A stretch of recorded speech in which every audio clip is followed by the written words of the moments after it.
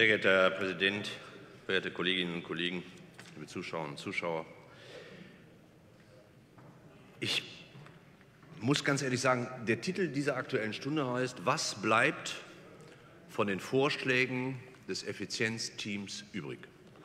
80 Prozent, vielleicht auch nur 70 Prozent dieser Aussprache hier, dieser Debatte haben sich mit dem Thema überhaupt nicht befasst.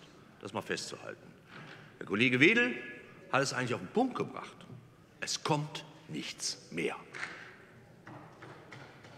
Es ist alles bereits vollbracht gewesen in dem Zeitpunkt oder vielleicht im Verlauf, als das Effizienzteam gearbeitet hat. Was hat es gearbeitet? Die Menschen im Land sollen doch mal begreifen, und dem dient doch diese Aktuelle Stunde, was da gearbeitet worden ist, was für Ergebnisse da rausgekommen sind.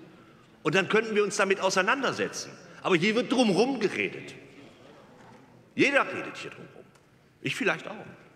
Ich habe aber eben, andere Kollegen auch, insbesondere die natürlich von der Opposition, weil die regierungstragenden Fraktionen werden sich kaum hier hinstellen und sich mit dem Bericht tatsächlich ernsthaft auseinandersetzen und ihn mal hier vor allen Dingen rechtfertigen. Dann müssten sie nämlich in die Einzelaspekte gehen, wie zum Beispiel, wie zum Beispiel den Aspekt Schulaufsicht. Das müssen die Menschen im Lande einfach mal erfahren, was da in diesem Effizienzteam gemacht worden ist. Und wie das so mit der Landesregierung und den Fraktionen und der Regierungsfraktion und der Opposition zusammenhängt.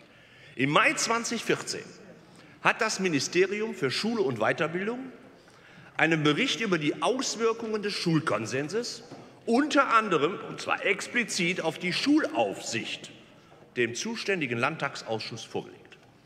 Jetzt kommt das Effizienzteam. Und was macht das Effizienzteam? Es regt an, ein Gutachten zu Aspekten der Effizienzaufgabenwahrnehmung und Rollenklärung der Schulaufsicht zu vergeben. Hört, hört. Das Effizienzteam will ein Gutachten über Effizienz haben. Und welche Erkenntnis ziehen wir noch daraus? Die Landesregierung, der Finanzminister ist immerhin Vorsitzender dieses Effizienzteams gewesen, traut sich selbst nicht über den Weg.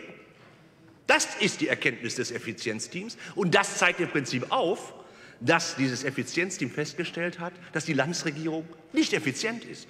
Die Landesregierung, wohl bemerkt, die Landesregierung. Es geht gar nicht um die Frage der Kosten, die Frage der, der strukturellen Einsparungen. Es geht hier scheinbar auch teilweise darum festzustellen, ob die anderen Ministerien überhaupt wissen, was sie tun.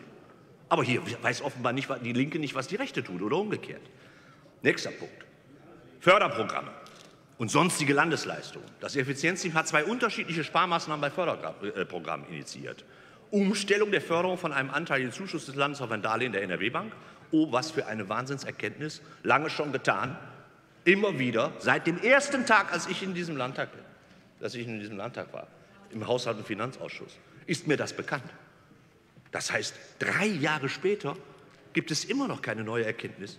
Und nein, es wird natürlich das, was eigentlich Aufgabe des Landes ist und auch des Landeshaushalts ist, verschoben, nämlich die Förderung von Unternehmen, von Kultur und so weiter und so fort, von Wirtschaft.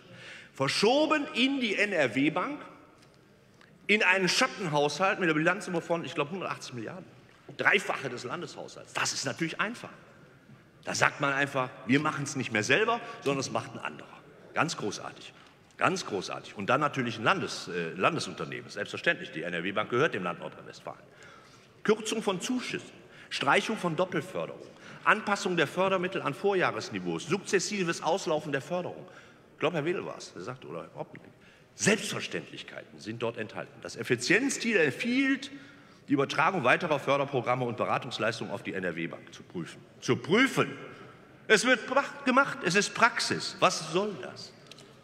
Nächster Punkt, Demografiegewinne. An einigen Stellen ist natürlich da im, zu Recht im Abschlussbericht die Rede. Denn immerhin 50 Seiten äh, Demografiegutachten von PricewaterhouseCoopers erfordern das sicherlich. Da steht dann so eine Erkenntnis auf Seite 52 des Berichts, wenn weniger, also im, im, sinngemäß, wenn weniger Kinder geboren werden, gehen weniger Kinder zur Schule, da braucht man weniger Lehrer. Solche Feststellungen ziehen sich durch den gesamten Bericht. Ich hätte erwartet, liebe regierungstragende Fraktionen, auch lieber Herr Finanzminister, dass Sie sich hier hinstellen und einmal vielleicht, na, ich sag mal, kleiner machen, als es hier mit dem Effizienzteam Abschlussbericht verkauft wird und sagen, wir haben uns wesentlich mehr erwartet von uns selbst, von dem Effizienzteam, von den Experten und es hat leider nicht, es ist am Ende leider nicht so ausgegangen. Ich erwarte ja gar nicht, auch als ein Vertreter der Menschen in diesem Lande, dass sie sich hier hinstellen und dafür entschuldigen. Aber doch zumindest einfach mal eingestehen, dass das Effizienzteam dreieinhalb Jahre nichts anderes getan hat, als zu tagen und keine Effizienz hervorzubringen. Dankeschön. Vielen Dank, Herr